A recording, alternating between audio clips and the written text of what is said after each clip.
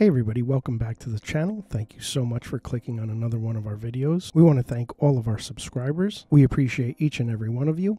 If you find this video to be helpful, please do us a big favor, hit the like button, and subscribe if you're new.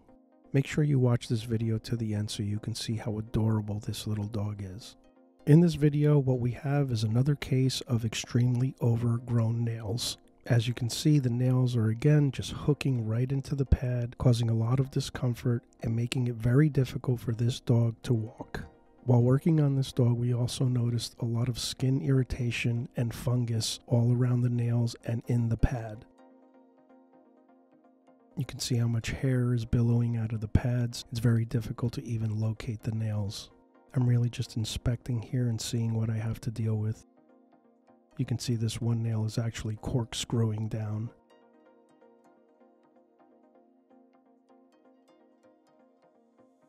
I'm taking my clipper now and using a 10 blade and I'm just trying to clip out some of the hair to make it more visible and accessible.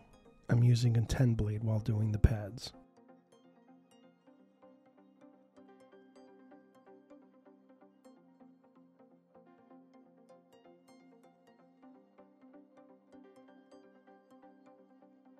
Now I can see the nails more clearly.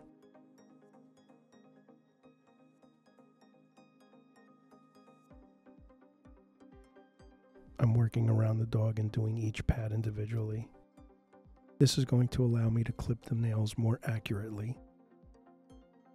You can notice that the fungus is enveloping the base of the nail, which is causing the skin to be very, very soft and irritated.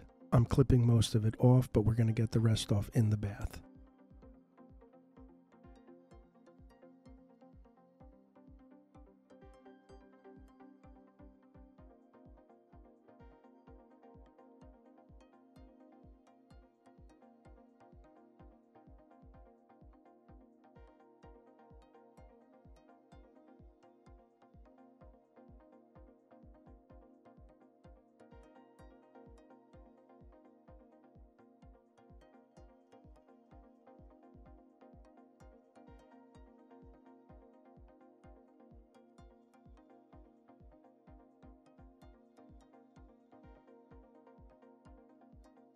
You could see the actual spot where the nail was poking.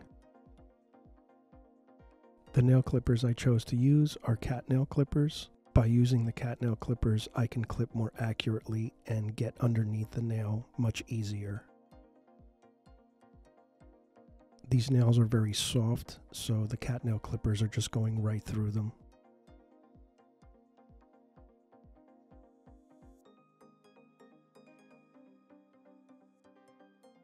Here you can see me pulling off some of the fungus that was wrapped around this nail.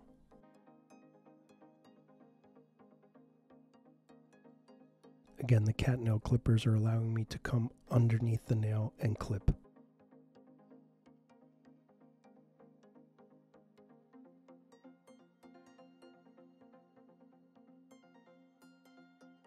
You could see how long the nail was, poking right into the pad. Here I'm working on the back left paw. I'm supporting body weight by using my hand and my wrist.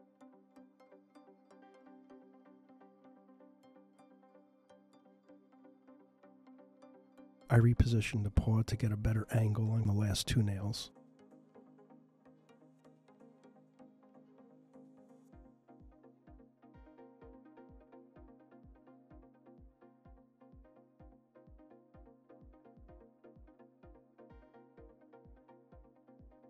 As you can see in this shot, the dew claw has wrapped around and has been poking the digit for so long it has caused the digit to abscess.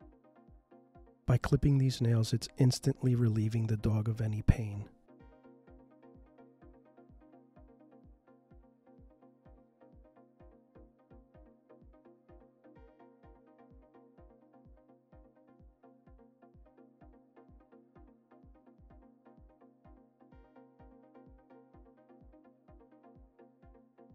Finally working on the last foot here.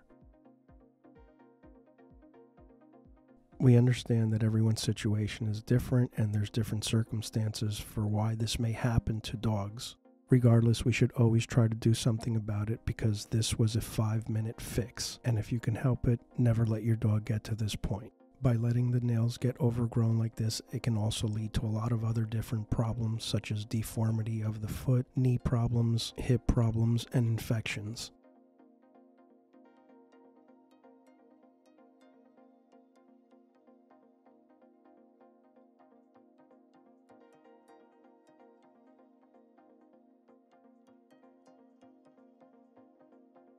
What a difference.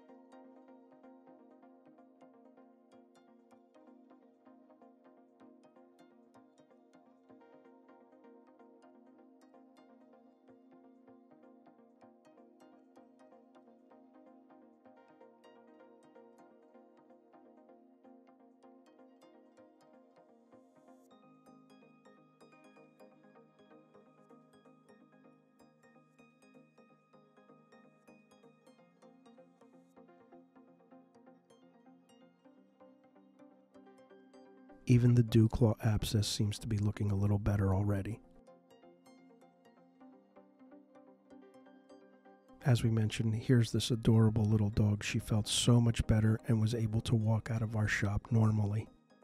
If you enjoyed this video or found it helpful, please do us a big favor, hit the like button and subscribe if you're new, and we'll see you in the next one.